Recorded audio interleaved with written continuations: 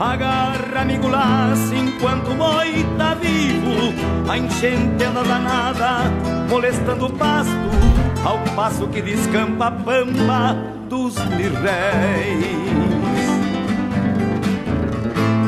E a boia que se come, retrucando o tempo Aparta no rodeio a solidão local Pialando mal e mal o que a razão quiser Amada, me deu saudade. Me fala que a égua tá prenha, que o porco tá gordo, que o baio anda solto, que toda cuscada lá em casa comeu.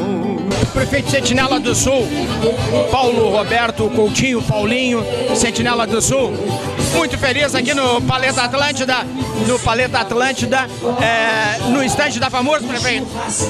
Muito importante esse evento, a FAMURS se fazendo presente, representando todos os nossos municípios do Rio Grande do Sul e aqui podendo trocar várias uh, ideias com os municípios, os municípios representados por seus prefeitos aqui, levando e trazendo informações, trazendo ideias novas para levar ao nosso município.